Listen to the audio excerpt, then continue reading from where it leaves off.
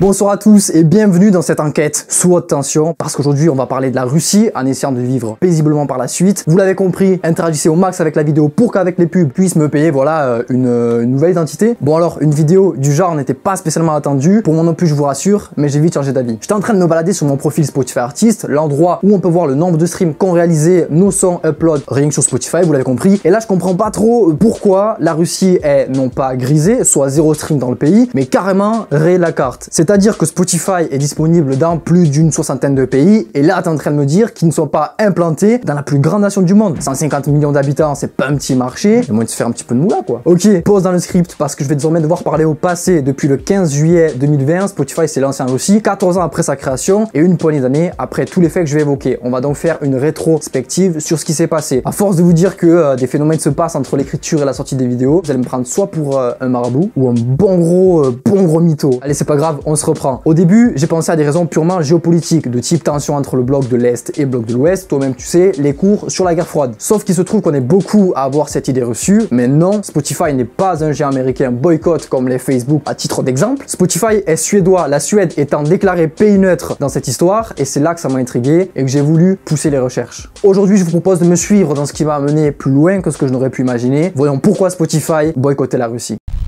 À l'origine, Spotify n'était pas fermé au marché russe, bien au contraire, c'était dans les tuyaux au début des années 2010 et c'est en 2015 qu'ils ont abandonné le projet pour, vous l'aurez donc compris, être remis sur la table en juillet 2020. Bien que la plateforme soit à la tête du streaming musical dans le monde, que son nombre d'abonnés payants ne cesse d'augmenter, l'entreprise n'a réalisé que deux bilans trimestriels positifs en 14 ans d'existence, ce qui est vraiment très peu, c'est-à-dire 56 trimestres, soit 168 mois, avec un déficit de millions et de dizaines de millions d'euros. Ce résultat nous amène à la première raison du boycott qui était de l'ordre économique.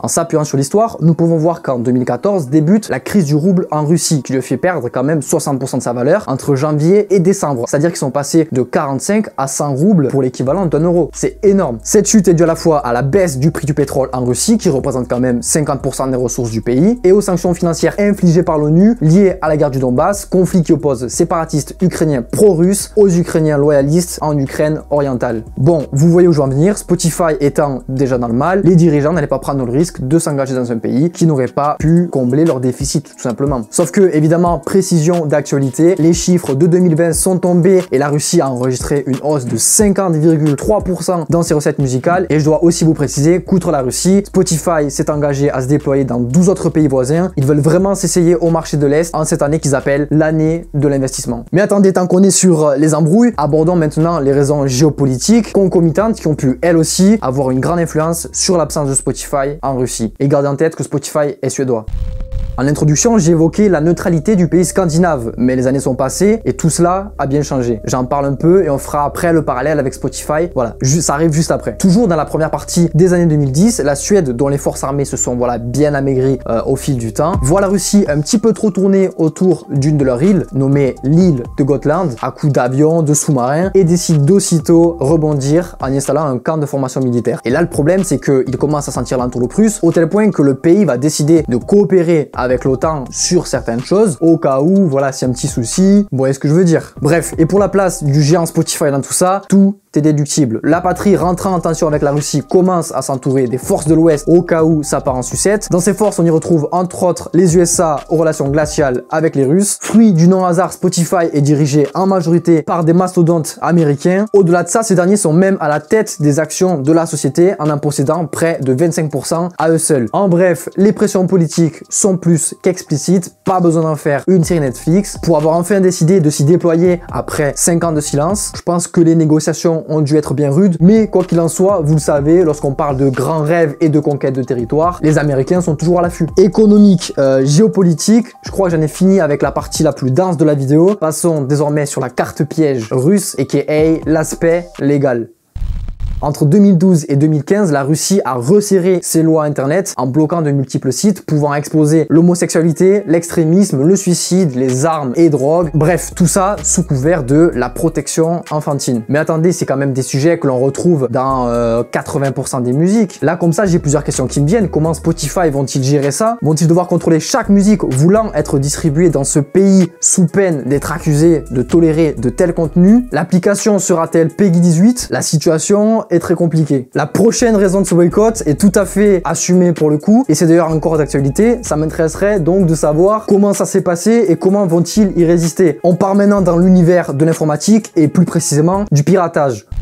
Vous n'êtes pas sans savoir que la Russie et le hack, c'est en quelque sorte une histoire de famille. Et le problème, c'est que l'industrie musicale en a beaucoup, beaucoup souffert jusqu'à ce jour. Et va peut-être souffrir encore, mais bon, ça, imaginez demain à minuit avoir sur Facebook la possibilité de trouver et de télécharger en seulement deux clics le dernier album de Nekfeu tout juste sorti. Vraiment, imaginez. Bon, eh bien, en Russie, ils ont leur Facebook nommé Vcontact qui propose carrément des outils pour contourner ultra facilement les droits d'auteur. Cette pratique est si violente que le pays, qui devait normalement être dans le top 10 des dépenses musicales en 2013 est à la 23e place avec seulement 69 millions de dollars générés par les auditeurs. Et pour vous donner un exemple qui va vous parler, prenez la France la même année et dites-vous que nous, les dépenses musicales, c'est levé à 700 millions d'euros. Voilà, l'écart euh, population, dépenses, Bon ok, là j'en rigole un petit peu, mais on parle quand même là d'un manque à gagner énorme à tel point que les majors qui sont Universal, Sony et Warner se sont associés pour porter plainte contre le réseau social Contact en réclamant évidemment des dommages et intérêts. Ok, on a vu les quatre thèmes qui ont pu ou auraient pu amener Spotify à boycott la Russie de leur projet. Maintenant, allons au-delà du temps et voyons pourquoi l'impossible s'est passé avec cette application au logo Wi-Fi noir et vert.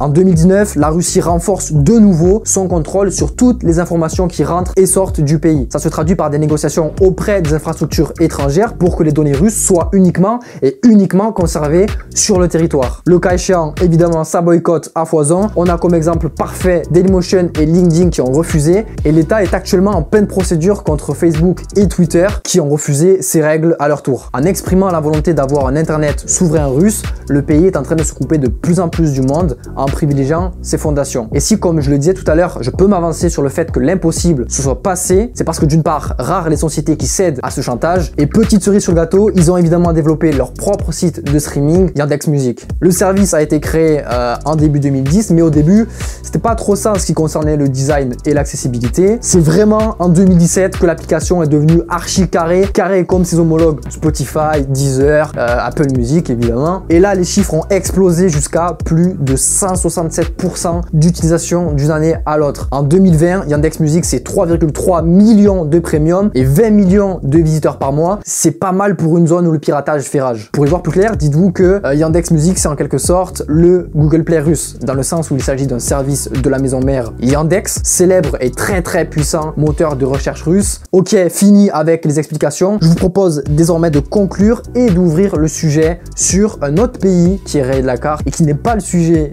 de cette vidéo, on va parler de la Chine. Bien que la situation ait très récemment changé, comme je vous l'expliquais au cours de la vidéo, la position, le système et les valeurs de Spotify auront, d'après mes hypothèses, été la cause du boycott initial. Si d'ailleurs il y a cette vidéo aujourd'hui sur la chaîne, c'est parce que je trouve que l'affaire fait très complot et que j'aimerais avoir votre avis sur ce balancier entre histoire et musique que je trouve tout simplement fou. Maintenant pour comparer ça à la Chine, Spotify n'est pas déployé pour de simples raisons socio-culturelles. Ne s'installe pas en Chine qui veut. Enfin, on va dire qu'il faut fonctionner différemment. Et c'est justement ce que l'entreprise Spotify a fait. Elle a signé un partenariat financier avec la holding Tencent et plus précisément Tencent Music Entertainment leur service de musique nationale. En gros, elles sont rentrées toutes les deux dans leur capital respectif en fin 2017. Voilà de quoi créer une alliance qui pourra nous réserver quelques surprises à terme, mais avec qui en tout cas on peut, je pense, d'ores et déjà s'avancer sur le fait que le futur sera peut-être plus prometteur qu'avec d'autres.